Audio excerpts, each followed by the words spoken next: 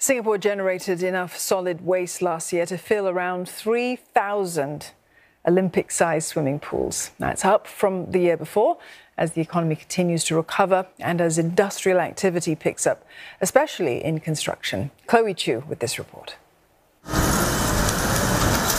Singapore produced nearly 7.4 million tonnes of solid waste in 2022. That's around 6.5% more than in the prior year. Much of it came from the construction sector as building and demolition activity picked up post pandemic. Of all the waste generated, more than half was recycled, up slightly to 57% last year. Part of this was also due to newcomers entering the industrial recycling space. We saw an increase in the recycling rates for glass waste and ash and sludge waste. That's because we have new recycling facilities in Singapore. Firstly, the glass recycling company is able to recycle glass into a material that's being used for ship blasting. Second, for the ash and uh, sludge recycling company, they are able to extract the sludge from semicon industries for treatment. But a different story unfolded at home and on premises like schools, petrol stations, and hawker centres.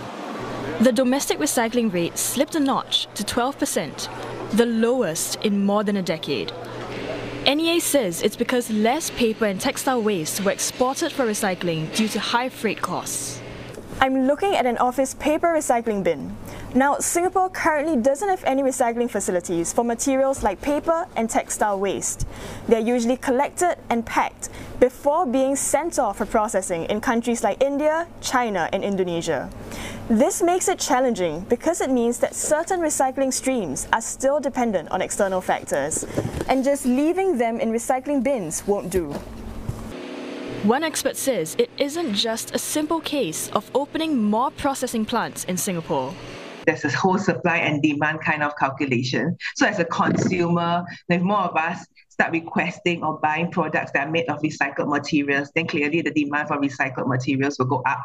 And that's where maybe you know there's more uh, people would see more benefit in recycling, in, in doing the whole process of recycling and getting these materials.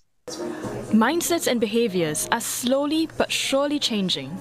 One social enterprise that dabbles in giving used clothing new life says consumers are becoming more responsible. Every Singaporean throws away 150 t-shirts per year. Out of this, 99% of the textiles can actually be reused and recycled. This way, we can reduce carbon emissions. So for the past five years, we have noticed an increase in 20% of our customers are starting to embrace pre-loved fashion. NEA says it is becoming more imperative for Singapore to shift to a circular economy. To help reduce waste and increase recycling, it's putting in place schemes like the Beverage Container Return Scheme, food waste reporting requirements, and the upcoming disposable carrier bag charge at supermarkets.